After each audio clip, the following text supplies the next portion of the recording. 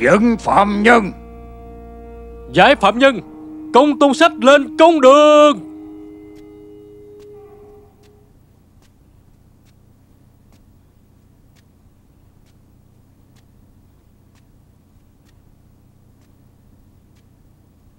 Tội phạm công tôn sách Khâu kiên đại nhân. Nghĩa phụ Lúc nãy thì vệ tới báo Bao đại nhân ở huyện Nha thăng đường. Hơn nữa hiện đang xét xử công tôn tiên sinh. Cậu đồ đạo đã được đem ra chờ lệnh. Hả? Bao đại nhân chém đầu công tôn sách thật sao? Dạ phải.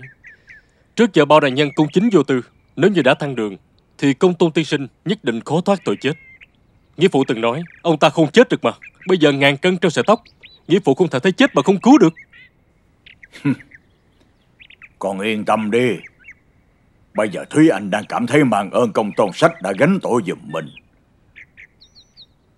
Nếu bây giờ công tôn sách chết đi Cả đời này sẽ mãi mãi sống trong lòng Thúy Anh. Ta quyết không để cho việc này xảy ra. Ta quyết không để ông ta được đắc ý. Chỉ là bây giờ chứng cứ rành rành. Cho dù nghĩa phụ tới đó Cũng không phản án được đâu. Ai nói ta đến đó để phản án hả? Ừ. Dương gia Dương gia Nghe nói bao đại nhân đang thăng đường. Đúng vậy. Nàng muốn ngăn cản sao? Thiếp biết thiếp không nên đến đó Nhưng mà người là do thiếp giết Không thể để công tôn tiên sinh gánh tội giùm thiếp. Nàng đến đó rồi thì sao? Nàng ngăn cản như thế nào đây? Thiếp Thiếp chỉ biết Thiếp chỉ biết có người vì thiếp mà chết Thiếp không thể ngồi ở nhà dững dưng không có chuyện gì. Thiếp cũng có tình cảm, có cảm giác. Lương tâm của thiếp không chịu được sự dày dò này. Nghĩa mẫu khoan kích động như vậy Sự việc chưa tới lúc cuối cùng mà. Ông ấy sắp bị xử trảm rồi Còn chưa đến lúc cuối cùng sao? Còn muốn ta ở đây đợi tin chết của công tôn tiên sinh sao? Ta không làm được.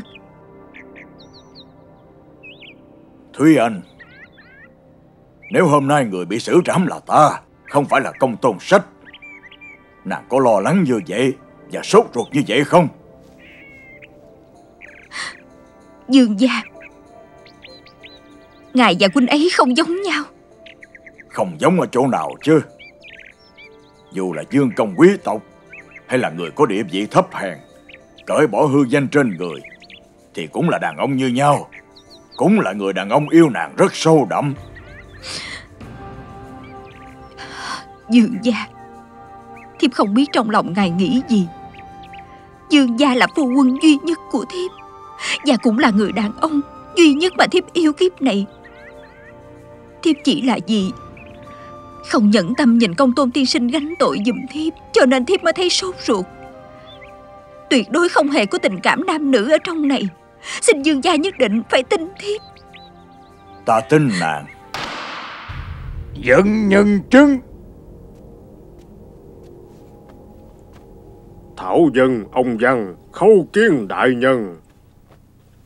Vào ngày 12 tháng này Nạn nhân tên Thường Bưu Trung Độc Tử vong trong tiệm thuốc. Lão tiên sinh là người phát hiện đầu tiên phải không? Phải. Vào lúc đó Hung thủ ở tiệm thuốc Chuẩn bị quỷ đi tăng chứng. Lão tiên sinh có nhìn thấy rõ hay không? Nhìn thấy rõ hết toàn bộ. Hung thủ là người nào Về người đó có mặt tại công đường không? Ờ Ờ Hồi đại nhân Chính là người này. Mang người quan trọng Lão tiên sinh nhất định phải nhìn cho thật kỹ càng. Chính là ông ấy. Ờ, Không sai được đâu.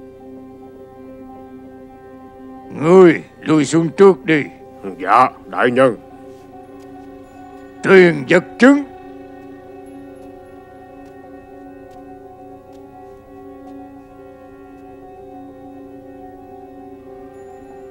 Đây là vật chứng độc chết nạn nhân thường bưu Ngươi có nhận ra không? Công tôn tiên sinh à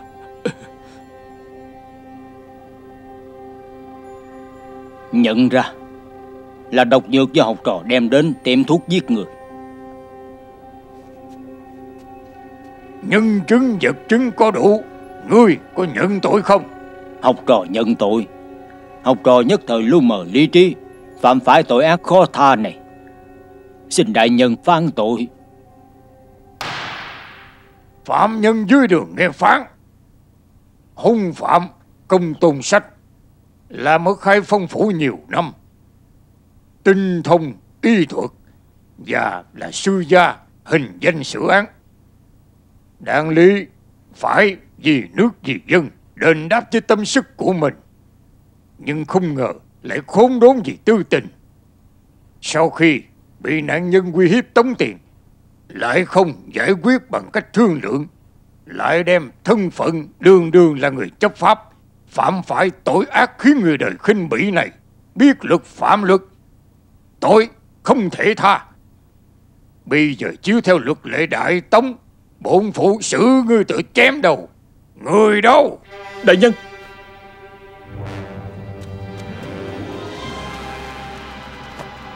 Cứu xin đại nhân Tha cho công tôn tiên sinh một mạng. Đại, nhân! Triển hộ vệ Không được náo loạn trên công đường. Bốn người các ngươi lui xuống đi. Công tôn sách đáng bị xử tội như vậy Các cậu đừng làm khó đại nhân nữa. Đại nhân! Triển hộ vệ Sao cả cậu cũng hồ đồ vậy? Nếu như đại náo công đường như vậy Sau này đại nhân Làm sao đối diện với ba tánh vô tội bị quan Làm sao đối diện với tội phạm hung tàn độc ác đây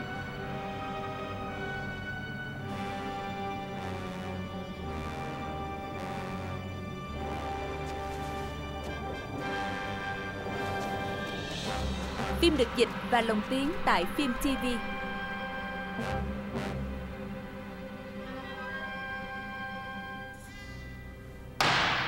Người đâu? Có Cậu đầu đau đợi lệnh. Khai đao.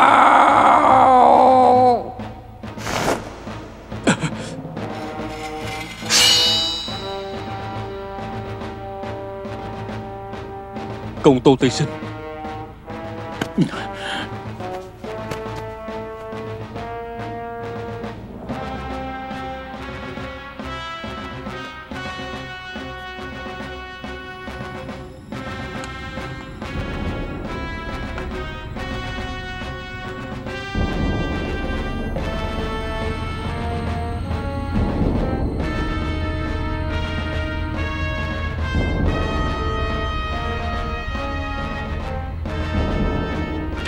gia có lệnh Đao hạ lưu tình Dương gia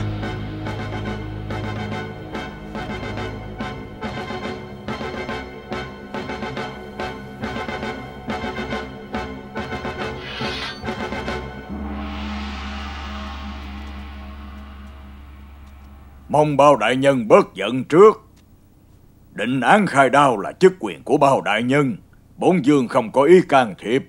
Chỉ là nếu như phán sai hung án, giết quan người trung lương, thì bốn dương không thể không lo. Dương gia. Ở trên công đường, nhân chứng vật chứng đều có đủ.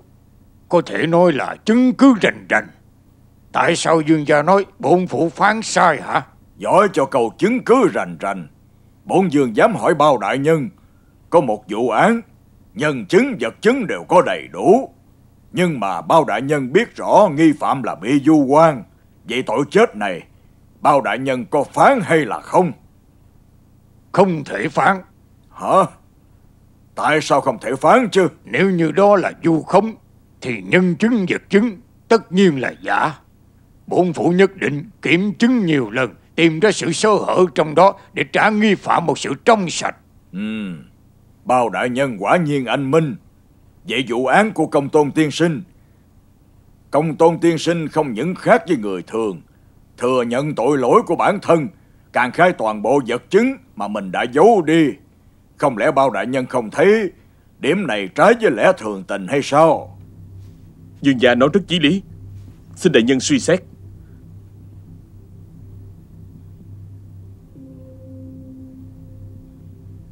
Bao đại nhân, công tôn tiên sinh một lòng muốn chết. Với tài trí của công tôn tiên sinh, chắc rằng sắp xếp bằng chứng, làm đại nhân phán tội mình, đây không phải là một việc khó. Xin dương gia đừng nói nữa. Tất cả tội lỗi này Đều do công tôn sách gây ra. Xin dương gia đừng gây trở ngại cho vụ án. Không được nhiều lời.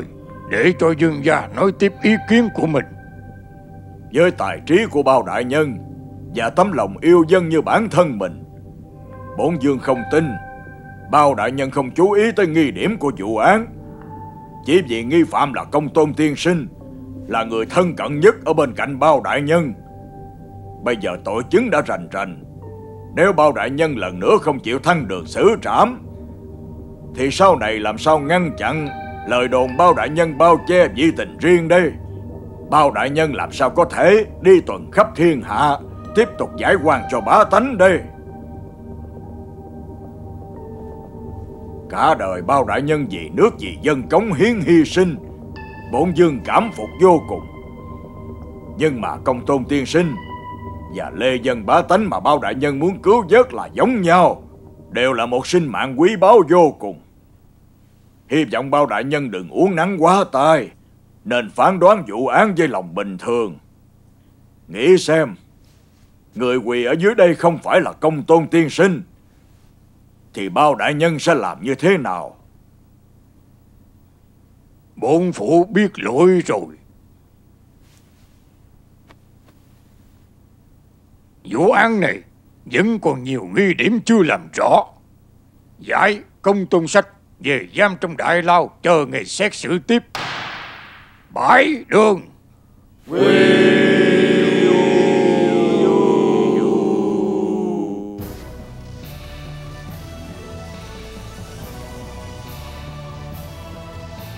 Đa tạ dương gia nghĩa hiệp lên tiếng. Cuối cùng đã cứu lại được công tôn tiên sinh. Bổn dương không hề cứu lại ai.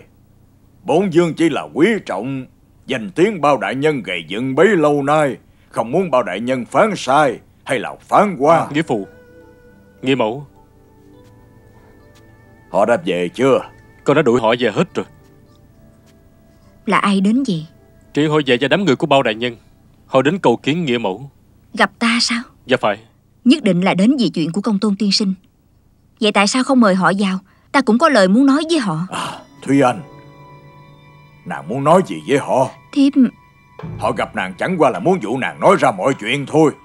Sau đó giúp công tôn tiên sinh thoát tội Hoặc là để nàng nhận tội.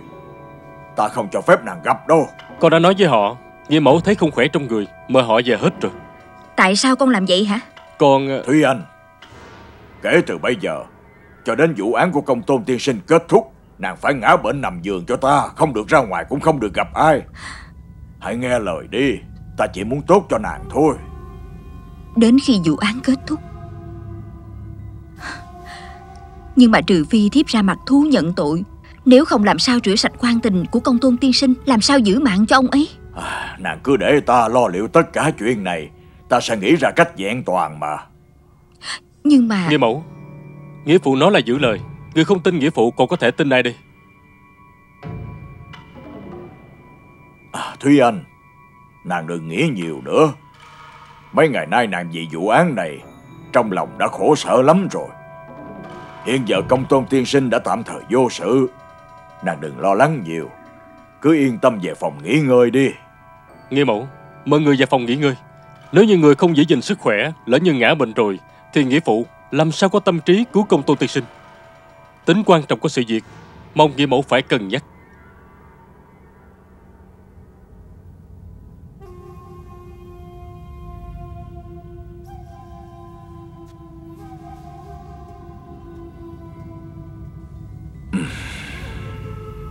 Nghĩa phụ Bây giờ ra tay đúng vậy không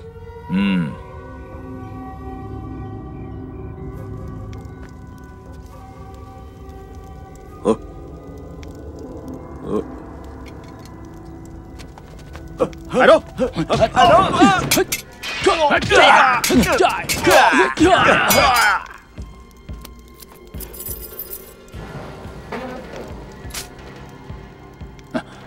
Ai đó?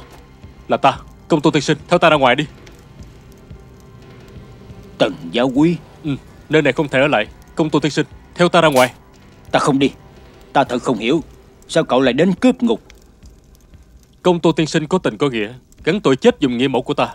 Ta không thể khoanh tay đứng nhìn ông bị xử trảm được Nên đành đến cướp ngục Dẫn ông cao chạy sao bay. Ý tố của tần giáo quý Công tôn sách ghi nhận. Cậu về đi. Tại sao vậy? Nếu như ta gánh tội giùm Dương Phi Thì ta không định sống sót ra ngoài. Con kiến cũng còn muốn sống mà. Không lẽ công tôn tiên sinh không một chút Trân trọng tính mạng của mình hay sao? Công tôn sách ta chỉ là một dân thường Thì làm sao không sợ hãi trước cái chết hả? Chẳng qua là Bây giờ Chỉ khi ta chết Mới có thể cơ nguy cơ của phủ dương gia. Nhưng mà Cậu về đi. Cậu vẫn còn trẻ tuổi Có tương lai sáng lạng. Cậu không nên vì ta mà quỷ đi cuộc đời mình. Ê, Ông đừng nói mấy lời này. Nếu không đi sẽ không kịp đâu mà. Ê, Cậu mau đi đi. Ta sẽ lẳng lặng chịu chết. Ta không thể làm cho đại nhân khó xử Nhưng mà Cậu đừng nói nữa. Cậu còn không đi ta sẽ la lên. Đến lúc đó chúng ta đừng hòng thoát được. Thôi được rồi Ta nói không lại ông. Nhưng mà bữa nay ông nhất định phải đi theo ta.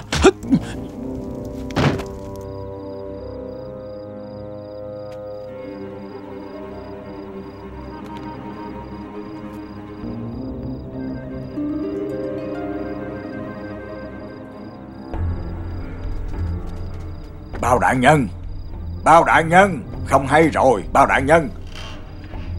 Bao đại nhân Có chuyện rồi Công tôn tiên sinh đã vượt ngục. Không thể nào Công tôn tiên sinh chỉ là một thư sinh yếu đuối Trong sự canh gác nghiêm ngặt đó Ông ấy làm sao thoát được hả? Đúng vậy Chúng thuộc hạ cũng nói không thể nào Nhưng mà quyền lệnh đại nhân nói Có người tiếp ứng. Đúng vậy Người đến cướp ngục võ công cao cường Nhà dịch trong đại lao Đều bị tên đó đả thương Tất cả nằm lăn dưới đất Võ công cao cường à? Không lẽ là triển hộ vệ? Triển hộ vệ đâu rồi? Đại nhân Nghe nói công tôn tiên sinh vượt ngục rồi. Có chuyện này thật sao? Triển hộ vệ Công tôn tiên sinh vượt ngục Có phải là cậu tiếp ứng không? Đại nhân Công tôn tiên sinh vượt ngục tội càng nặng thêm Lúc đó càng có rửa sạch tội danh. Hậu quả của việc này thuộc hạ biết rõ. Do đó về chuyện cướp ngục Cho dù trong lòng thuộc hạ muốn Cũng tuyệt đối không thể làm. Xin đại nhân minh xét Công tôn tiên sinh cũng hiểu việc này. Tại sao còn vượt ngục chứ? Lại là ai giúp ông ấy chạy thoát đây? Bao đại nhân Bây giờ phải làm sao đây? Việc này đâu cần hỏi nhiều. Lập tức phong tỏa các đường gián hình truy nã khắp nơi. Phải bắt ông ấy về quy án Không để ông ấy sống ngoài dòng pháp luật. Đi. Huyện Bảo Lai. Đứng lại. Đi. Đứng lại. Đi. Ý trời đất, có chuyện gì vậy? Chuyện gì vậy Cái gì vậy? Cái Hả? gì Có có phạm tội gì vậy? nữa. Truy nã kìa. có. truy nã chứ. Thiệt Đúng là nã mà Dương gia Ừ. Dương gia đến đây khi nào Tại sao không phái người thông báo Ờ Là bổn dương không cho họ làm kinh động bao đại nhân Bổn dương chỉ đến quan tâm vụ án của công tôn tiên sinh Chứ không có việc gì gấp Bao đại nhân không cần bận tâm Để dương gia phải đợi lâu Thật là thất lễ. Người thất lễ là bổn dương mới đúng. Nếu không phải bổn dương đến công đường ngăn cản Thì công tôn tiên sinh đã đền tội lâu rồi. Bổn dương chỉ đơn thuần là có ý tốt. Nhưng không ngờ Công tôn tiên sinh lại phụ lòng ý tốt của bao đại nhân Làm hỏng danh tiếng của bao đại nhân. Không Vụ án đúng là kỳ lạ. Sát hại thường bu vốn là hành vi của một mình công tôn tiên sinh Bây giờ lại có thêm một người võ công cao cường đến cướp ông ấy ra ngục. Bổn phủ phải truy bắt ông ấy về quy án Nhất định điều tra làm rõ tất cả đồng phạm. À Bao đại nhân điều tra được gì chưa? Truy bắt đến nay vẫn chưa có tin gì. Công tôn tiên sinh không thể nào biến mất như vậy. Nhưng bây giờ ông ấy đang ở đâu? Đúng là làm người ta không đoán được. Hả Công tôn tiên sinh quả nhiên không đơn giản. Không ngờ cả bao đại nhân cũng không đoán ra được. Xin hỏi Dương gia Dương Phi Nương Nương Mới hôm nay có rời khỏi phủ Dương gia hay không? À Bao đại nhân nghi ngờ bà ấy bao che cho công tôn tiên sinh sao? Không dám. Chỉ là công tôn tiên sinh và Dương Phi Nương Nương Có tình nghĩa sư huynh muội Cho nên bổn phủ nhất định phải hỏi. Không thể nào Tại sao nói vậy Và lồng tiếng tại phim TV. Phủ dương gia ta canh gác nghiêm ngặt Công tôn tiên sinh Không phải là người tài giỏi xuất hiện không giấu vết Muốn vào phủ dương gia mà không bị phát hiện là điều không thể nào Huống chi, thê tử ta vì vụ án thường bưu bị sát hại, lo lắng quá sinh bệnh. Mấy hôm nay nằm liệt trên giường không đi đâu cả. Dù có lòng muốn bao che cho công tôn tiên sinh, bà ấy cũng lực bất tòng tâm không thể giúp được. Bệnh tình của Dương Phi nương nương thế nào? Có mời đại phu về khám không? À, đa tạ bao đại nhân quan tâm. Đại phu có dặn, chỉ cần tĩnh dưỡng nhiều là sẽ khỏe lại. Vậy thì tốt. Nếu như phủ dương gia có gì khác thường, mong dương gia cho người đến thông báo một tiếng. Bổn dương biết rồi, nếu như có tin gì của công tôn tiên sinh, bổn dương nhất định cho người đến thông báo. Bao đại nhân, bổn dương cáo từ trước đây. Cung tiễn dương gia.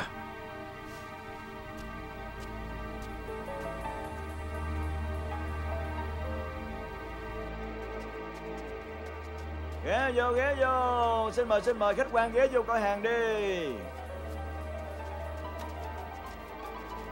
Mua tranh, mua tranh đi, mua Hả, tranh. cô nương? Mua tranh đi. À, cô nương ghé vào Ghé xem. xem bức tranh này đi Tranh mẫu đơn thật của học giả tiếng tâm, cô nhìn xem. Tranh này vẽ đẹp lắm đó.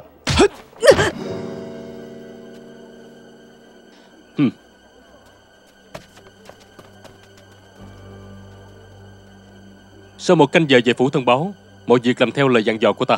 Do Dạ. đó,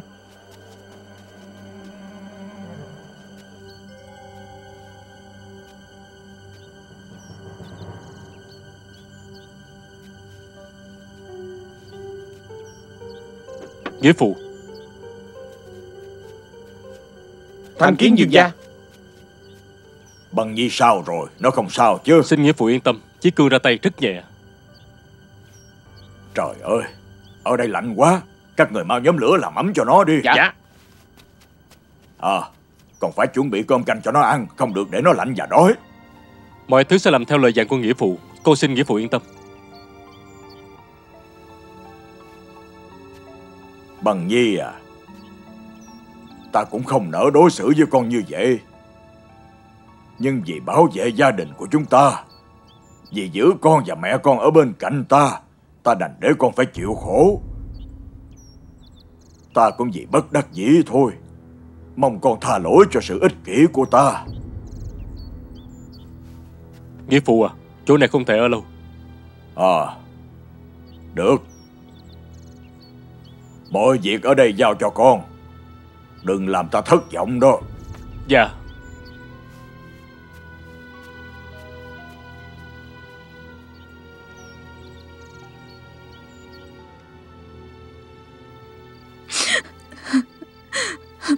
Dương gia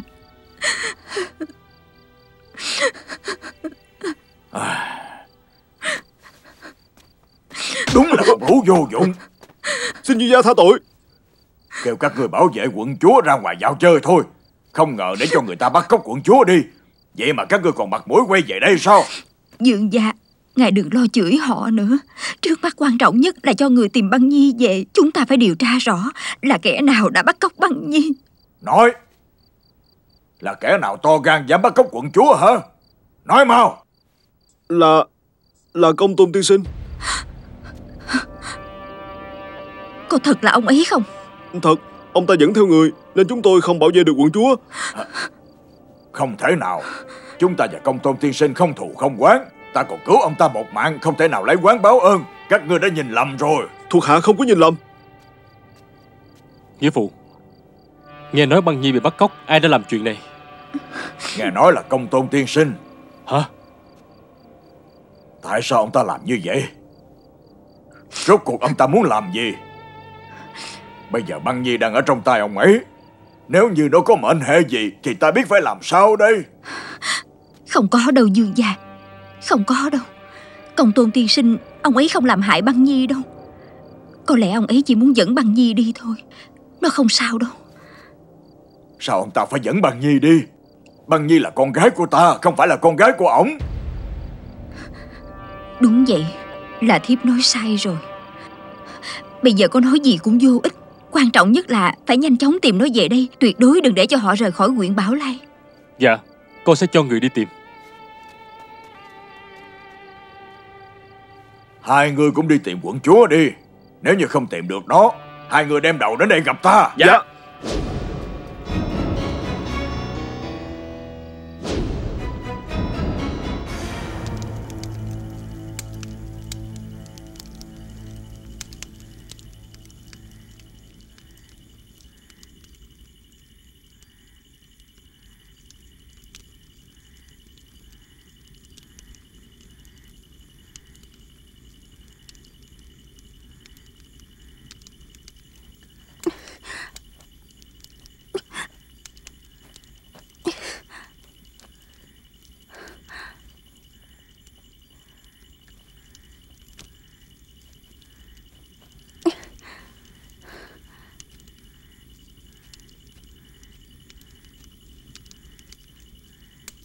là chỗ quái quỷ nào vậy?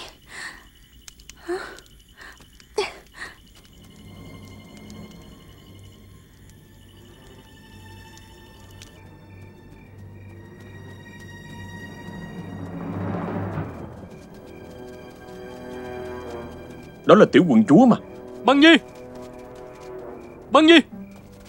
Tiểu quận chúa. Chí cưng ca ca Băng Nhi à! Chí cưng ca ca Tại sao mày trốn ra được vậy Ta phát hiện ra không có ai canh giữ hết. Nên ta cắt đứt dây trói rồi chạy ra đây á. Là ai đã bắt cô đi? Chính là tên xấu xa công tôn tiên sinh đó chứ ai nữa. Theo lời kể của triển hộ vệ Bắt cóc tiểu quận chúa Là công tôn tiên sinh đứng ở phía sau sai khiến à? Không sai Chính là ông ta. Lúc đó đôi mắt của tiểu quận chúa bị giải che lại Thì làm sao biết được là công tôn tiên sinh làm hả? Ta nghe được thuộc hạ của ông ta nói. Bọn họ nói Công tôn tiên sinh Sẽ đưa ta và mẫu thân của ta đi. À họ còn nói là Bây giờ công tôn tiên sinh là một kẻ liều mạng Không còn sợ gì nữa hết. Chỉ dựa vào mấy câu nói đó Làm sao có thể tin được? Tiểu quận chúa Có chính tai nghe thấy công tôn tiên sinh mở miệng nói không? Ừ, Ta không có nghe thấy. Nhưng mà bọn họ mở miệng ra là luôn nhắc tới công tôn tiên sinh Thì chắc chắn là ông ta rồi Vậy sao? À Băng Nhi chỉ biết được bao nhiêu đó. Bao đại nhân còn có câu hỏi nào khác không? Lúc tiểu quận chúa bị người ta bắt cóc Hộ vệ ở bên cạnh ở đâu? À Là hai người này. Chính mắt hai người thấy Công tôn tiên sinh phái người tới bắt cóc tiểu quận chúa đi à? Không sai. Không phải hai người lúc đó bị đánh ngất rồi sao Làm sao nhìn thấy được công tôn tiên sinh? Chúng tôi đánh nhau được mấy chiêu Sau đó mới bị ngất đi. Lúc đó công tôn tiên sinh Trên người mặc áo tù Hay là trên người đã thay đồ thường dân rồi? Là áo tù. Giờ quyền bảo lại văn đề thiên la địa võng Công tôn tiên sinh mặc áo tù trên người Còn có thể ngênh ngang đi lại Trên con phố đông người như vậy à? Ờ Ờ không không không Là mặc đồ dân thường. Hồ đồ Bao đại nhân hỏi chuyện nghĩ kỹ rồi mới trả lời. Không được trả lời đã cho có. À Bao đại nhân, Bổn dương quản lý không nghiêm, Xin được chê cười. Không dám không dám.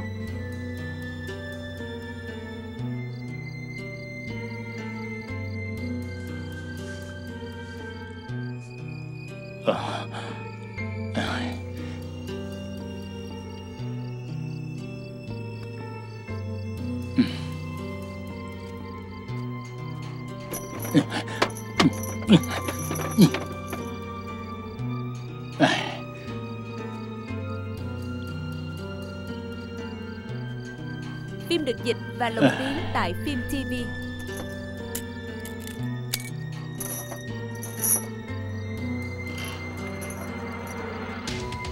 Tần giáo quý Chỗ này là chỗ nào?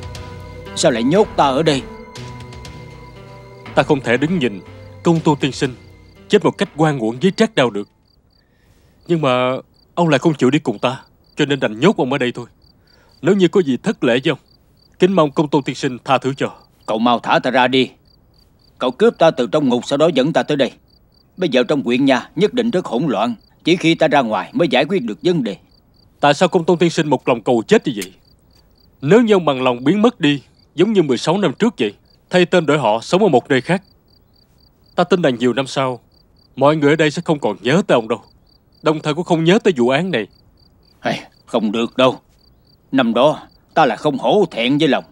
Nếu bây giờ ta bỏ đi Không những có lỗi với bao đại nhân Mà còn có lỗi với đồng liêu của khai phong phủ nữa. Công tôn tiên sinh gánh tội dùng nghĩa mẫu Nên không có gì phải hổ thẹn. Cả đời này ta chưa bao giờ gặp qua Người trọng tình nghĩa như công tôn tiên sinh đây.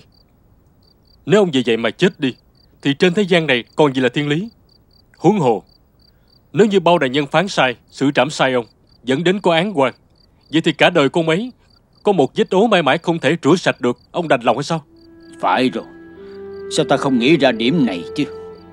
Nếu công tôn tiên sinh đã gánh tội chết đây rồi Thì đâu cần phải sợ có thêm một tội vượt ngục này nữa. À, Ta hiểu rồi. Mọi việc đều nghe theo sự sắp xếp của cậu. Vậy thì thiệt cho công tôn tiên sinh rồi. Tối nay khi thời gian đến Ta hội tống đưa ông ra khỏi thành.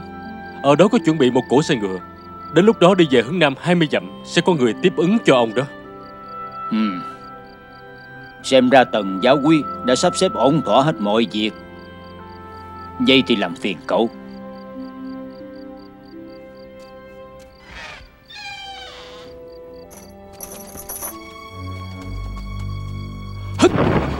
Dừng tay!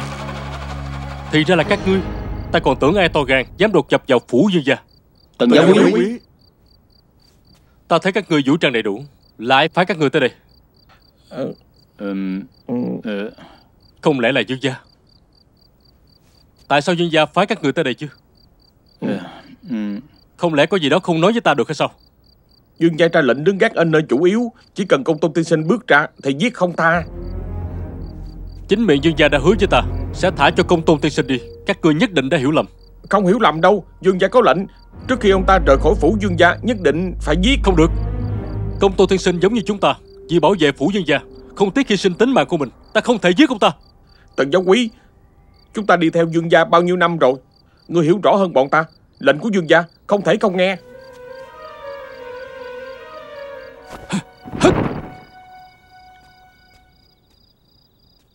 Nghĩa phụ. Ờ Đã nói xong với công tôn tiên sinh chưa? Đi ngay lúc nửa đêm Để tránh đêm dài lắm mộng. Sao vậy? Chẳng lẽ ông ta không muốn đi sao? Hai người thảo luận thế nào rồi? Ngay từ lúc đầu Nghĩa phụ không định cho ông ta sống sót rời khỏi đây. Có đúng như vậy không Chi Cương. Còn đang nói lung tung cái gì vậy? Không phải chúng ta đã nói trước là Trời tối khi thời gian đến Con sẽ hộ tống đưa công tôn tiên sinh ra thành sao? À Con sắp xếp xong đường đào tẩu cho ông ta chưa? Không được bỏ sót bất cứ chi tiết nào Để tránh thất lễ với công tôn tiên sinh đó. Nghĩa phụ Xin người đừng tiếp tục gạt con. Con đang nói gì? Con đã biết hết tất cả rồi Thì ra thần tiễn thủ Giết vô số kẻ địch ngoài chiến trường. Bây giờ dùng tất cả trong việc Đối phó với công tôn tiên sinh Người một tay không tất sắc. Trừ phi nghĩa phụ thay đổi ý định của mình. Nếu không Tối nay ông ấy nhất định phải xuống suối vàng rồi.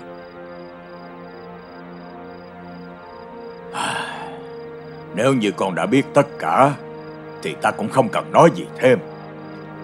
Làm tốt việc con nên làm Những chuyện khác không cần để ý tới còn không thể không để ý được. Bây giờ trên người công tôn tiên sinh Đang gánh tội giết người Dứt cục Còn có tội bắt cóc băng nhi nữa kìa. Danh tiếng cô mấy đã bị chúng ta quỷ hoại hết rồi. Hơn nữa cả việc nghĩa mẫu Cũng không thể tha thứ cho mấy luôn. Bây giờ chỉ còn một con đường sống cuối cùng, Nghĩa phụ không tha cho mấy là sao?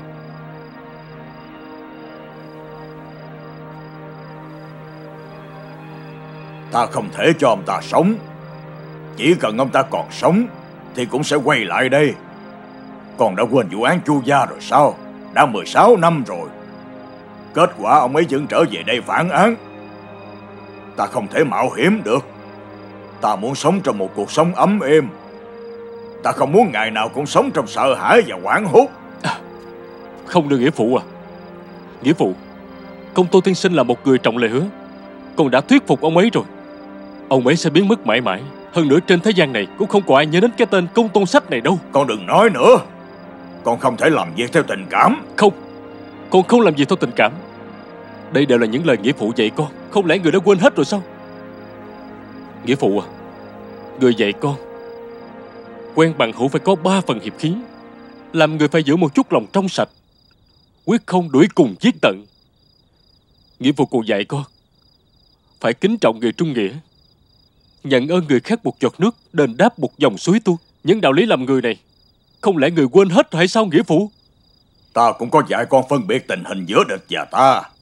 Khi không nên để kẻ địch sống Thì nhất định phải đuổi cùng giết tận quyết không nương tay Đề phòng hậu quả khó lường. Không lẽ con quên rồi sao?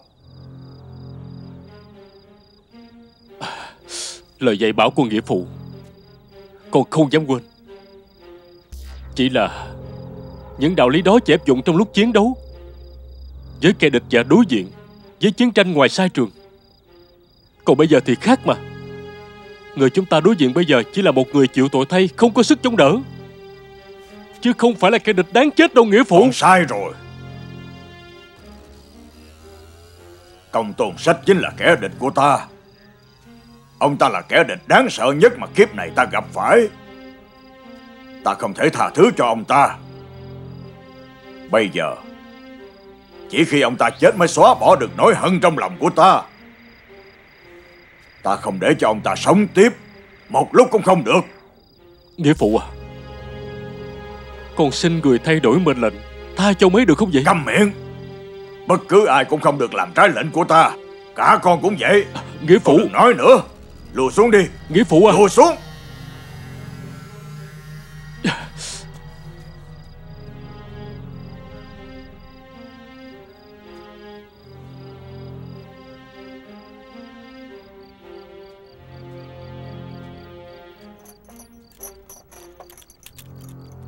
Con dẫn ta đến đây làm gì? Con muốn nhờ nghĩa mẫu dẫn một người đi.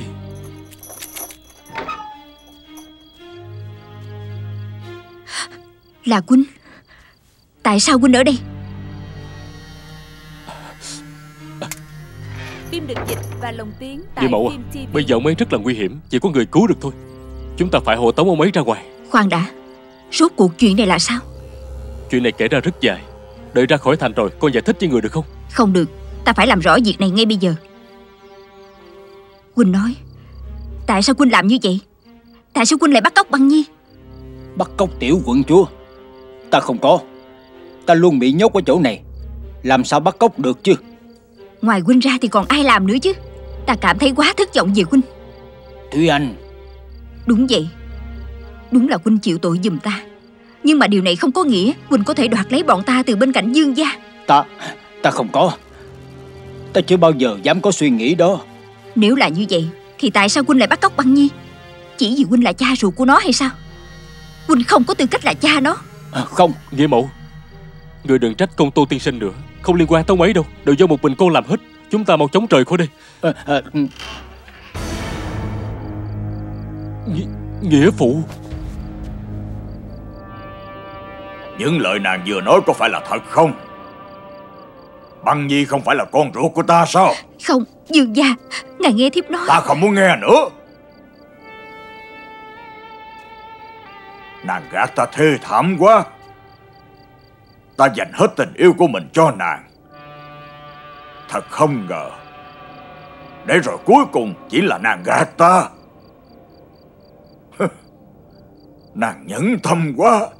Nàng thật là tàn nhẫn. Các người Dương gia Dương gia ngài sao rồi. Dương gia Dương gia Dương gia. Dương gia Dương gia Dương gia Dương gia. ngài sao vậy? Dương gia. Tránh ra đi. Dương gia Dương gia. Người đâu? Người đâu rồi? Dương Tà Du Huyết Mau mời đại phu đi. Dạ. Lạ quá. Dương Mạch gia. đập bình thường. Sao lại ngất xỉu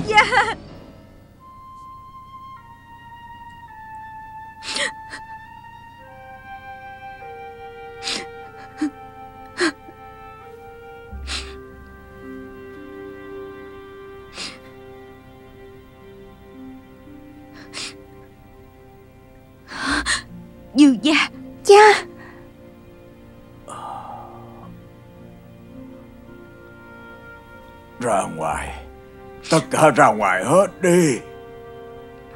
Dương gia Ngài đừng như vậy. Đại phu có nói Ngài phải tĩnh tâm điều dưỡng Không được quá kích động. Cha ơi Người hãy nghỉ ngơi cho thật khỏe Đừng nói chuyện nữa mà. Nghĩa phụ à Tất cả đều do con không tốt. Người muốn trách muốn phạt. Con sẽ không quán câu nào Chỉ mong sâu bệnh của người Sớm ngày bình phục thôi. Con đừng nói nữa Con và băng nhi ra ngoài đi. Cha ơi Con không muốn ra ngoài đâu. Con chỉ muốn ở đây với cha thôi. Băng nhi Con ngoan đi. Cha có chuyện muốn nói với mẹ con. Chi Cường Nghĩa phụ. Dẫn băng nhi ra ngoài. Dạ. Tiêu băng à Thôi mình ra ngoài đi ừ. Đi nào ừ.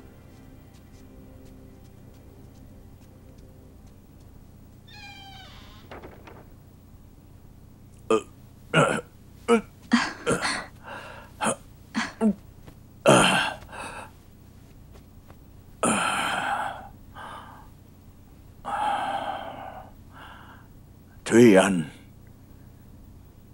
Khi nàng lấy ta Lúc đó nàng đã có thai hai tháng rồi sao? Thiếp xin lỗi, Dương gia. Thiếp không phải cố ý muốn gạt chàng. Lúc đó sau khi lấy Dương gia, Nhìn thấy Dương gia yêu thương thiếp hết mực, Lại mong đợi sự ra đời của băng nhiên Thiếp không thể thốt lên sự thật được. Thiếp biết điều đó đối với Dương gia mà nói, Quả thật rất tàn nhẫn. Có thật nàng gì muốn tốt cho ta. Nên mới giấu kín sự thật này không? Nàng không gạt ta chứ? Thiếp nói đều là sự thật. Thiếp không có gạt Dương gia. Tuy ta là một dương gia Nhưng dù sao ta cũng già rồi. Công tôn tiên sinh nhân tài xuất chúng Cuối cùng ông ấy vẫn trở về dẫn nàng và băng nhi đi. Không. Thiếp sống là người của phủ dương gia. Chết cũng là ma của phủ dương gia. Không ai có thể dẫn thiếp và băng nhi đi. Cho dù là công tôn tiên sinh Cũng không được dẫn. Nhưng khi ta cưới nàng về Chúng ta chỉ gặp qua có ba lần làm sao sánh được với lời thề non hèn biển của nàng và công tôn sách? Nếu mẹ con nàng muốn đi, Ta cũng không còn gì để nói. Dương gia, Thiếp không phải là người lòng dạ sắt đá. Bao nhiêu năm nay, Dương gia tốt với thiếp và băng nhi, Thiếp đều hiểu rõ trong lòng. Bây giờ trái tim của thiếp đã thuộc về Dương gia. Xin Dương gia tha thứ cho thiếp Để Thúy Anh ở lại bên cạnh ngài suốt đời. Nàng bằng lòng ở lại bên cạnh ta thật sao? Chỉ cần Dương gia đồng ý Đời này Thúy Anh cũng chỉ là thê tử của Dương gia Và băng nhi mãi mãi là con gái của ngài. Thúy Anh Thúy Anh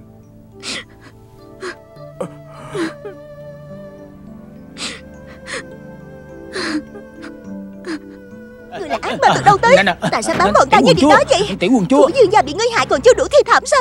Bây giờ phụ thân ta cũng ngã bệnh rồi. Hôm nay ta đánh chết ngươi. Đừng đừng. Đừng đánh nữa đừng đánh nữa. Sự việc không phải như vậy đâu. Ngươi còn chối nữa hả? Không phải ngươi muốn bắt cóc ta sao? Bắt đi. Tới đây bắt đi. đừng. Dừng tay Mùi không được đánh. Tại sao ngay cả Huynh cũng bên ông ta nữa? Huynh tránh ra. Đây là chuyện của ta và ông ta. Đừng có xì vô. Nè Tiểu băng à. Huynh buông ra. Ê, à, Tiểu quần chúa. Sao rồi Cô có bị thương không? Không được. Ông ấy chính là cha cô. Huynh đừng có hòng gạt ta. Phụ thân ta đã nói rồi Người mới chính là cha ruột của ta. Mẫu thân ta chỉ nói dối thôi. Còn người này Không phải cha ruột của ta Ông ta không là gì hết. Huynh đừng học gạt ta nữa. Dương gia biết chuyện này rồi sao? Tất nhiên người biết rồi. Trong lòng người biết rõ nhất. Không Dương gia không biết gì hết. Quỳnh đừng có nói nữa mà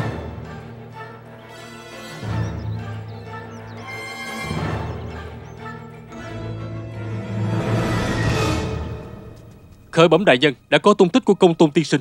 Ở đâu? Hình như trong phủ nhân gia. Tuy thuộc hạ không nhìn thấy ông ta Nhưng mà nghe thấy giọng nói của công tôn tiên sinh. Chính là công tôn tiên sinh Chính ông ấy. Ông ấy đã đi chung với ai? Đã nói những gì? Ông ấy ở phủ nhân gia Đi chung gia và nói những gì Thuộc hạ nghe không được rõ. Duy nhất khẳng định là Hiện giờ công tôn tiên sinh đang ở trong phủ dương gia. Vậy mọi người còn đợi gì nữa? Tại sao không lập tức vào đó xem Tranh thủ thời cơ chứ? Bọn ta không muốn vào trong Nhưng bị lính gác cản lại. Họ luôn miệng nói không có công tôn tiên sinh nào ở đây hết á. Bọn ta muốn xông vào Nhưng mà họ cản ta lại. Tại sao họ lại chứa chấp công tôn tiên sinh? Rốt cuộc chuyện này là sao hả? Trời ơi lão già Công tôn tiên sinh có gặp nguy hiểm không vậy? Phủ dương gia chưa chấp tội phạm Thông báo huyện lệnh Phải đi toàn bộ quan binh Bao vây xung quanh phủ dương gia Kêu dương gia thả công tôn tiên sinh ra. Lên Nhanh lên! Nhanh lên Nhanh Nhanh lên! lên! Nhanh lên! Dạ Nhanh Nhanh lên Dạ! Nhanh lên nhanh lên! Dạ! Vào trong Nhanh lên! Đóng cửa lại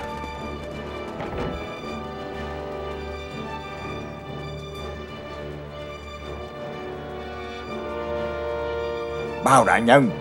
Coi ra dương gia không định giao người ra rồi, Làm sao bây giờ?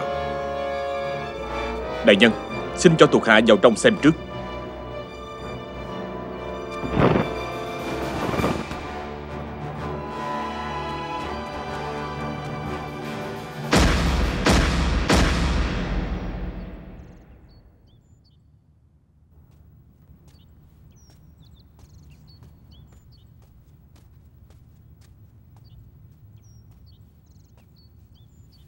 Dương gia.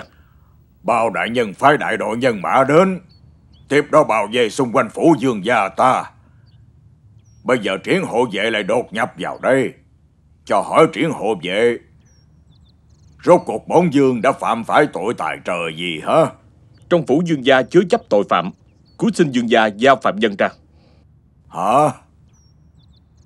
Trong phủ của ta Có tội phạm quan trọng nào không? Bẩm dương gia không có Rõ ràng công tôn tiên sinh đang ở trong phủ dương gia. Có lẽ dương gia không biết chuyện này. Mong dương gia cho người điều tra Lập tức giao công tôn tiên sinh ra đây. Người đang ra lệnh cho bổn dương sao? Triển chiêu không dám. Ngươi!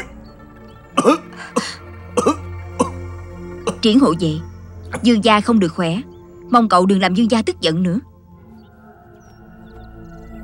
Công tôn tiên sinh là một nhân tài Bổn dương nhất định phải nhúng tay vào chuyện này. Ông ấy ở trong phủ của dương gia cũng được Không có ở trong phủ cũng được. Ta cũng sẽ không giao ông ấy cho bao đại nhân đâu. Đại nhân dẫn ông ấy về Chỉ muốn xem xét lại vụ án Làm rõ thị phi trắng đen. Nếu như công tôn tiên sinh bị quan thật sự Đại nhân sẽ trả cho ông ấy một sự trong sạch. Bao chứng chỉ là một hôn quan khăng khăng giữ ý mình mà thôi. Dương gia không được xúc phạm đại nhân. Bổn dương chỉ là nói theo sự thật Nếu không nhờ bổn dương Bao chứng đã giết quan công tôn tiên sinh từ lâu rồi. Bổn dương phải giữ người này lại. Các ngươi về đi. Dương gia Bao đại nhân có lệnh. Nếu dương gia không chịu giao công tôn tiên sinh ra Thì mọi việc đành phải làm theo pháp luật. Mong dương gia suy nghĩ kỹ. Không cần nghĩ. Ngươi về nói với bao đại nhân. Nếu các người dám xông vào phủ dương gia ta Thì chúng ta gặp nhau trước hoàng thượng. Khúc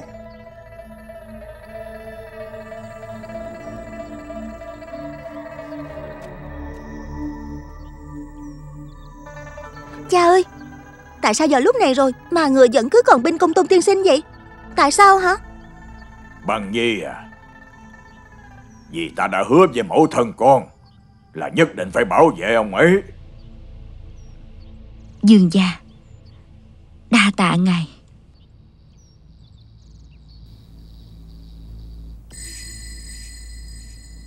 Tại sao vậy? Ta coi con như con của mình Dốc lòng đào tạo con. Đề bạc con. Sao con lại phản bội ta Và bán đứng ta? Nghĩa phụ à Con không có. Con thật tình không có. Còn nói không có sao? Nếu không phải con dẫn Thúy Anh đến gặp công tôn sách Thì ta đã giết ông ta lâu rồi. Cũng không làm sự việc không cứu vãn được như ngày hôm nay đâu. Nghĩa phụ à Không lẽ chuyện này ngoài việc giết người ra Thì không còn cách nào hết hay sao? Bây giờ đã chết một thường bu rồi. Chúng ta không thể xe tiếp đâu nghĩa phụ à. Còn nói câu này là có ý gì? Tha lỗi cho Chí Cương nói thẳng. Nếu không phải là nghĩa phụ Sẽ con đi sai khiến thường bu. Thì ông ấy cũng không dám quy hiếp nghĩa mẫu. Nghĩa mẫu càng không phạm phải tử tội giết người này. Nghĩa phụ à Để chuyện này chấm dứt tại đây đi. Chúng ta đừng tiếp tục sai lầm nữa. Con xin người mà Câm miệng. Ta vì bảo vệ thê tử và con ta Ta không có sai. Những người đó đều đáng chết. Người cũng giống như họ vậy. Cút đi. Ta không muốn nhìn thấy ngươi nữa. Mãi mãi không muốn gặp ngươi nữa. À, Hai người. Dương gia Tại sao ngài lại gạt thiếp Hả? Ta Công tôn tiên sinh nói với thiếp Bệnh ngài chỉ là giả bộ. Thiếp còn không chịu tin. Thiếp không tin dương gia yêu thương thiếp hết mực. Lại dùng tất cả mọi thủ đoạn với thiếp Đẩy thiếp vào cảnh muôn kiếp không trở lại được. Nghĩa mẫu Xin ngờ đừng trách nghĩa phụ. Tất cả những chuyện này đều do con làm hết. Nghĩa phụ cũng là bị con gạt. Tất cả chuyện này đều không liên quan tới nghĩa phụ. Tần giáo quý Cậu đừng bao che cho Dương gia nữa khi ta phát hiện Dương gia đã sớm biết tiểu quận chúa là con của ta. Nhưng lại ra vẻ ngạc nhiên thất thường Thậm chí là ngã bệnh luôn. Thì ta đã hiểu Chuyện này không đơn giản như vậy. Cậu và ta chỉ là con cờ. Trên bàn cờ mặt trong ta sắp đặt. Không. Sự việc không phải như ông ta nói đâu. Ờ, Ta kêu Chí Cương sai khiến thường bưu đi uy hiếp nàng. Chỉ là muốn nắm giữ trái tim nàng thôi. 16 năm trước. Ta từ miệng của ngự y biết được Bằng Nhi không phải là sinh non Nó không phải là con ruột của ta. Thì ra ngài đã biết từ lâu. Tại sao ngài không nói cho thiếp biết? Ta không dám nói. Ta sợ sẽ mất đi nàng Tuy là Ta biết người tình cũ của nàng là người làm trong tiệm thuốc. Tuy hắn ta đã mất tích Nhưng mà ta vẫn luôn sợ hãi. Một ngày nào đó hắn quay về huyện Bảo Lai Dẫn nàng và băng nhi đi. À, Thật không ngờ ngày đó đã đến thật. Ác mộng của ta đã trở thành sự thật. Dương gia.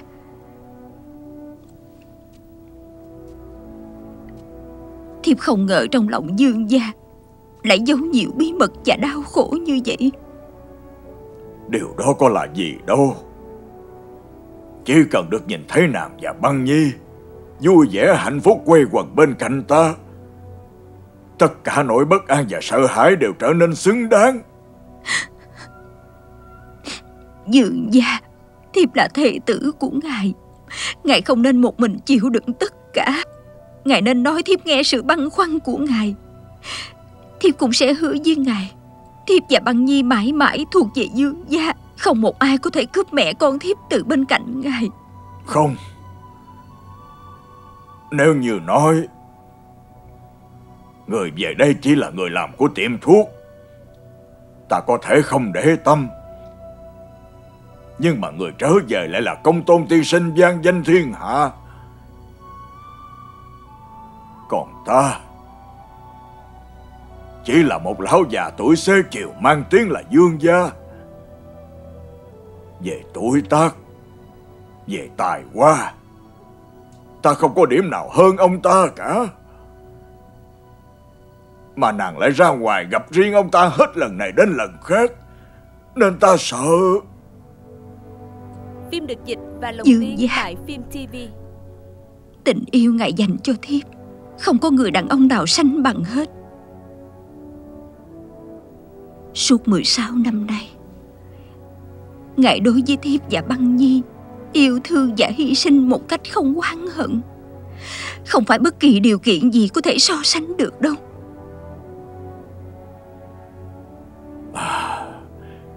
Ta thật không ngờ nàng lại nói mấy lời này với ta.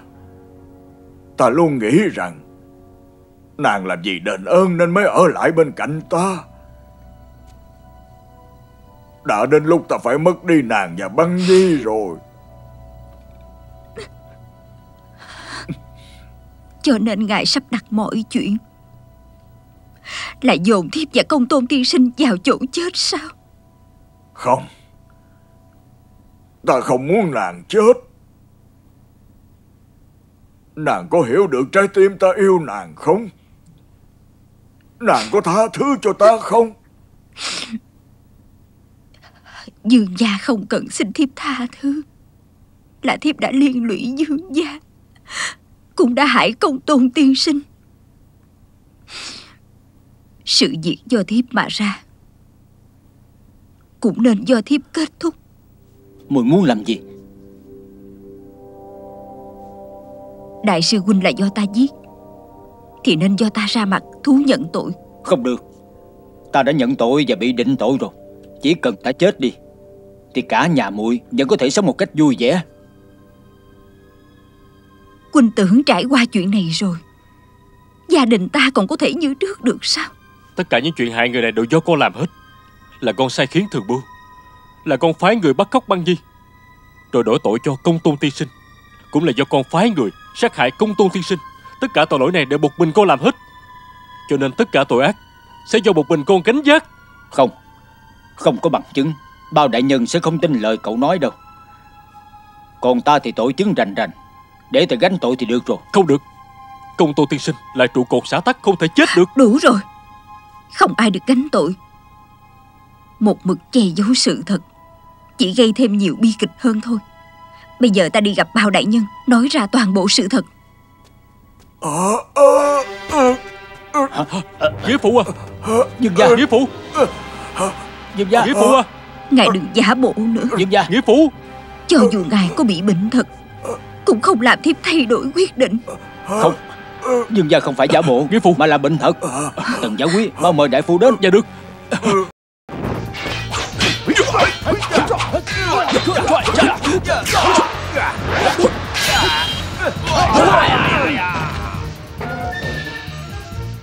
Mời đại nhân.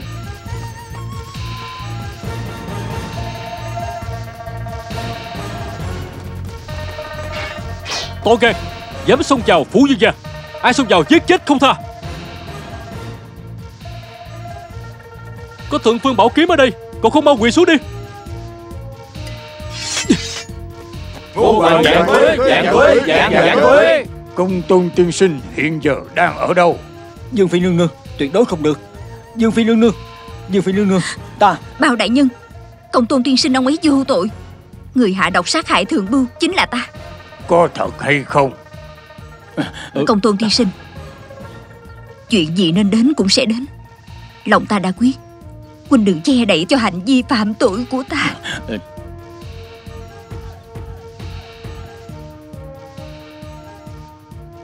Vì chuyện đến đại lao cướp ngục Bắt cóc tiểu quận chúa. Sau đó đổ tội cho công tôn tiên sinh. Không lẽ cũng là Dương Phi nương nương đứng ở phía sau sai khiến à? À, Không Là Dương gia. Không Dương gia không biết gì hết. Tất cả chuyện này do ta tự ý quyết định. Người đáng chết là ta Không hề liên quan tới Dương gia. Tần giáo quý trung thành bảo vệ chủ Bổn phụ lấy làm cảm phục vô cùng. Nhưng mà vụ án này hệ trọng vô cùng. Bổn phụ cần điều tra làm rõ mới được Dương gia ở đâu?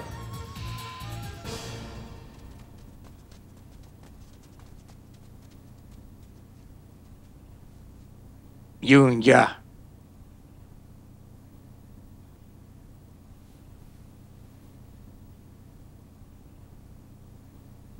Bao đại nhân. Bao đại nhân Xin thương tình dương gia trọng bệnh Đừng cố tiếp tục xét hỏi nữa Bổn phụ không phải muốn kinh động đến Dương gia. Chỉ là có những nghi điểm Nhất định phải mời Dương gia giải thích rõ. Bao đại nhân muốn biết những gì? Mời bao đại nhân cứ việc hỏi. Ta nhất định sẽ trả lời. Những gì mà ta biết. Công tôn tiên sinh gánh tội dùm Dương Phi nương nương. Tại sao ngươi còn thừa cơ hãm hại? Là Dương gia sai khiến à? Ờ không phải. Là ta không muốn liên lụy tới nghĩa mẫu. Cho nên ta đã tự ý quyết định đến tìm công tôn tiên sinh Còn việc cướp ngục thì sao? Ờ ờ, Đó là đề phòng công tôn tiên sinh phản án. Chuyện này do một mình ta gây ra. Tần giáo quý Bổn phủ cảm phục lòng dạ hết mực trung nghĩa của ngươi. Nhưng mà Chữ trung này cần phải có công lý chính nghĩa Không được trung thành một cách mù quáng. Nếu không chỉ gây nên bất hạnh như hôm nay mà thôi Bao đại nhân Chí Cương không có sai. Là bổn dương sai rồi. Nghĩa phụ Xin người đừng có nói nữa. Người phải giữ gìn sức khỏe Không được quá kích động lúc này. Tất cả mọi chuyện Có phải do dương gia vì yêu sinh hận Từ đó trồng ra ác quả không?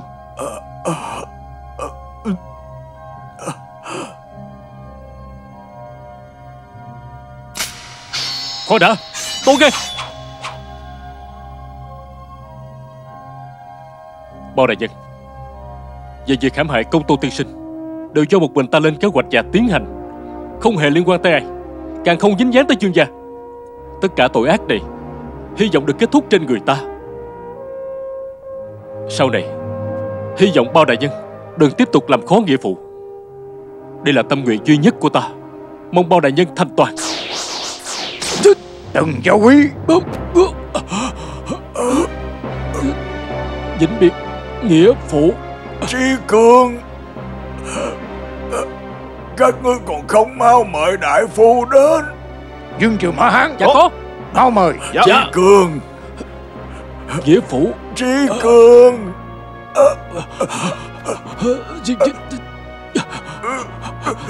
Nghĩa phụ Nghĩa phụ Nghĩa phụ à, Chí Cương, Không thể tiếp tục ở bên cạnh người. Tận hiếu với người nữa rồi. Người nhất định phải tự bảo trọng lấy mình. Ơn đào tạo của người đối với Chí Cương Đành hẹn kiếp sau. Đền đáp. À. Chí Cương Chí Cương Chí Cương.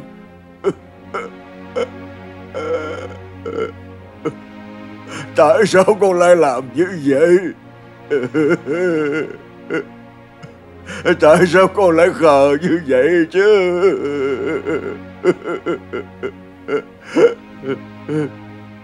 Trời ơi, Ta thấy hối hận quá. Ta hối hận vì không nghe lời của con. Ta bị lòng đố kỵ làm mất đi lý trí. Hai người khác phải mất mạng, Lại hại cả con nữa.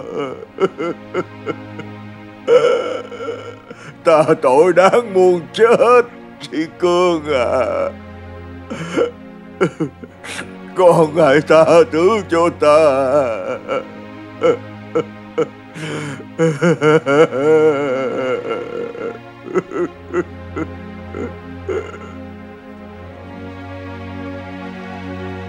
Đại nhân. Đại nhân. Bào đại nhân Xin cho ta gặp dương gia lần cuối có được không? Đại nhân Phim được dịch Cho dù thế nào Dương gia cũng có công với triều đình. Cho dù Dương Phi tội có đáng chết Cũng xin đại nhân xử lý khoan dung Bảo vệ danh tiếng của phủ Dương gia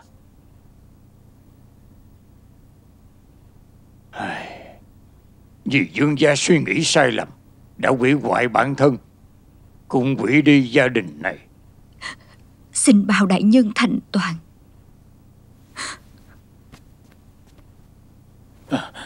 Xin đại nhân thành toàn.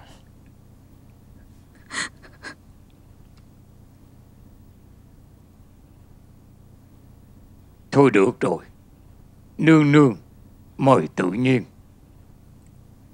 Đà tạ bao đại nhân thành toàn. Bằng nhi Đi theo mẹ.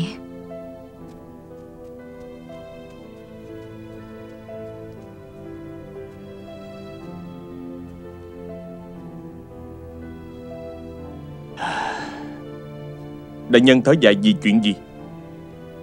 Xem ra Nương nương đã quyết định như vậy rồi. Bỏ đi Đây là cách duy nhất bảo vệ sĩ diện của phủ dương gia.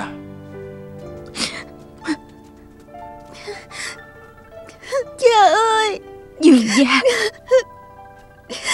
Cha! Cha đừng để mẹ con đây mà! Con không muốn đâu cha ơi! Bằng nhi Con yên tâm đi. Mẹ con sẽ không sao đâu.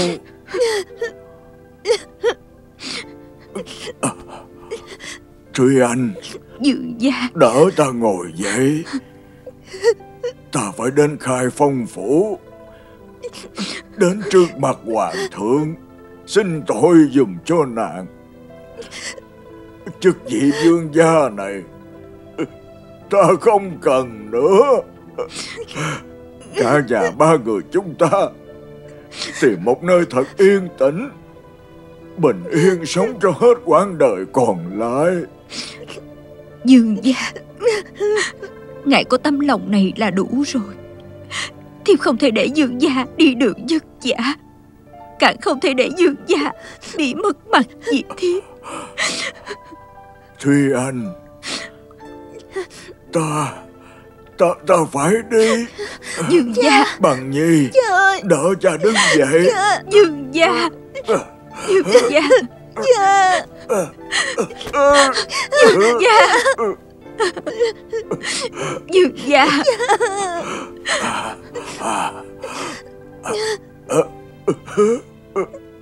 Ta vô dụng Ta không bảo vệ được cả thê tử của mình. Ta thật vô dụng. Dương gia, Ngài đừng nói như vậy. Là thiếp đã liên luyện dương gia. Thiếp chết không đáng tiếc. Chỉ là sau này Không thể hậu hạ dương gia nữa. Xin dương gia giữ gìn sức khỏe. Nàng không được nhắc đến từ chết. Ta không thể mất nàng đâu. Bằng nhi à Đi mời bao đại nhân đến đây. Ta cầu xin ông ấy Xin ông ấy xử lý khoan hồng. Dương gia Dạ, ngài đừng làm khó bao đại nhân nữa. Sau khi thiếp đi rồi, Bằng nhi, Làm phiền dư gia chăm sóc nó nhiều hơn. Không, Ta đã là một phế nhân rồi. Ta không thể chăm sóc nó, yêu thương nó, Giống như trước kia nữa. Nếu như nàng lìa xa cõi đời này Thì ta sẽ đi với nàng. Để bằng nhi về tìm công tôn tiên sinh Nhận tổ quy tông. Cha Cha mới nói gì vậy chứ? Con nghe không hiểu. Bằng nhi à Mẹ con không có gạt con Người nói dối chính là ta. Công tôn tiên sinh mới là cha ruột của con. Con không nên ở trong dương phủ nữa. Con nên về tìm ông ấy đi. Không Không phải như vậy đâu. Cha mới chính là cha ruột của con. Con biết. Cha sợ con nhìn thấy cha bây giờ như vậy, Cho nên cha mới đuổi con đi chứ gì. Bằng nhi Con hãy bình tĩnh Nghe cha từ từ nói với con. Cha không thể chăm sóc cho con được nữa. Nhưng mà con có thể chăm sóc cha mà. Cha đã nuôi con khủng lớn từng này rồi. Cha hy sinh biết bao nhiêu là công sức Và tâm huyết của mình. Bây giờ Chính là lúc con đền đáp công ơn của cha. Nhưng mà Ta không phải là cha ruột của con. Con mặc kệ Cho dù là ruột thịt cũng được Nuôi nấng cũng được. Ở trong lòng con Con chỉ có một người cha Là cha đây thôi. Con chỉ có cha mà thôi. Với con Ở trên thế gian này Không có bất kỳ ai có thể thay thế cha được hết. Cho dù có là hoàng thượng Cũng không thể được. Bằng nhi. Cha bệnh nặng như vậy rồi. Chăm sóc cha cực lắm đó con. Con không sợ. Nếu như còn đi theo công tôn tiên sinh Con sẽ được thoải mái hơn rất nhiều. Con không cho cha nói những lời này đâu. Nếu cha còn nói nữa Con giận cha thật luôn á. Đa tạ con. Con mới chính là người phải nói câu Đa tạ cha. Bằng nhi con lớn khôn rồi. Con lớn khôn thật rồi. Cha ơi. Cha Cha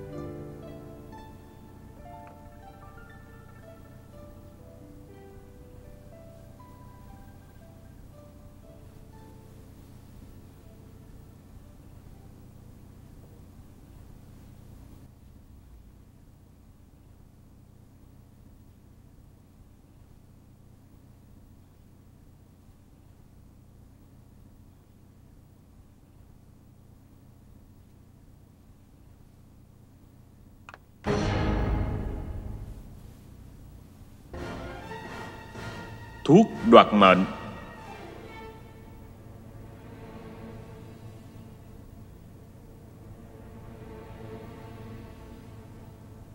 Dương gia, Ơn nghĩa của ngài. Đành hẹn kiếp sau đền đáp.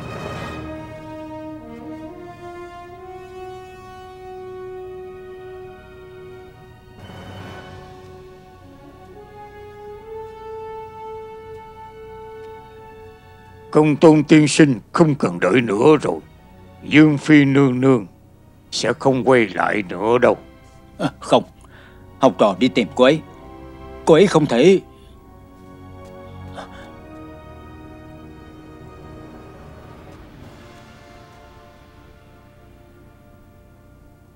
Thúy Anh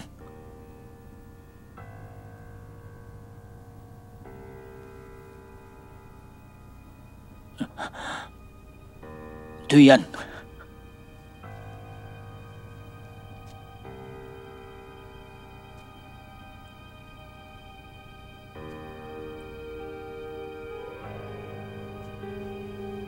Phim được dịch và lồng tiếng tại Phim TV Thúy Anh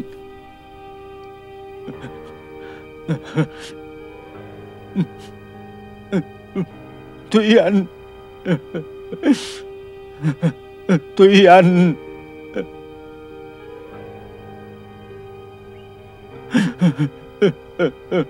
Thúy Anh.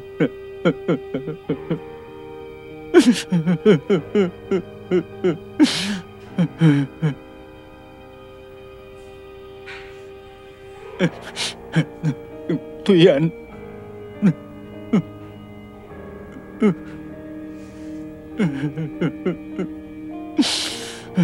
Thúy Anh.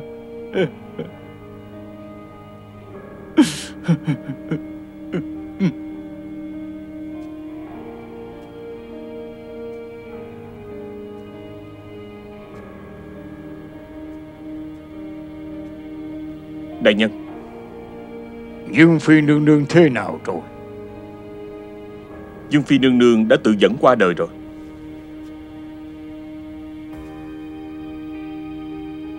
Quả đúng như vậy. Hãy truyền lệnh xuống. Dương Phi nương nương vì đã ngộ sát thường bưu. Hôm nay đột nhiên bệnh nặng vì bất trị tử vong. Lo liệu việc hậu tang. Vụ án này kết thúc.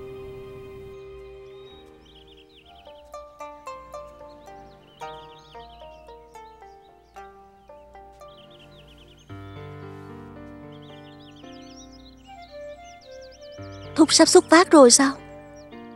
Đúng vậy. Bao đại nhân phụng chỉ đi tuần khắp thiên hạ. Ta cần đi theo ngài ấy.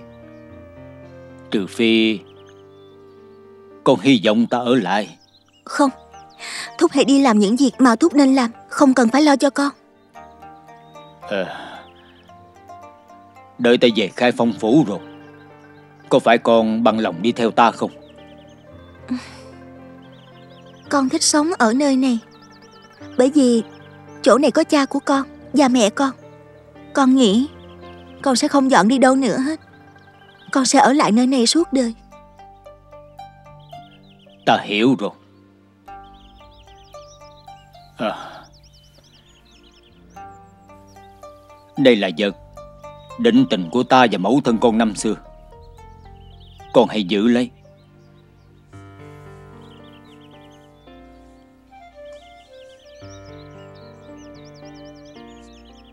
Con chút. Công tôn thúc thúc thuận bờm xuôi gió. À. Hẹn gặp lại.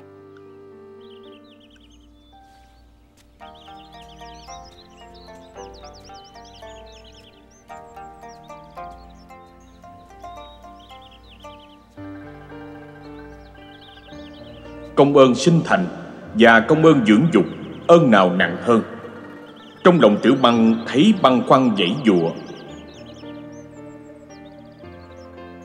Trấn Nam Dương hiện hách một thời Không ngờ đến tuổi xế chiều Lại gặp phải bước ngoặt thay đổi gia cảnh nghiêm trọng như vậy Gần như chống đỡ không nổi.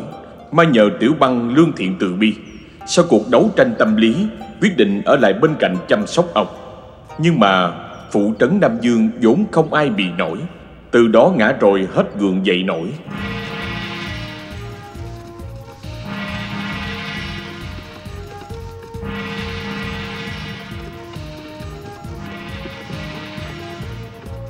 Còn công tôn sách ôm theo nỗi đau khôn xiết, rời khỏi quê hương, theo đội ngũ đi tuần khắp thiên hạ của bao đại nhân, tiếp tục tiến bước.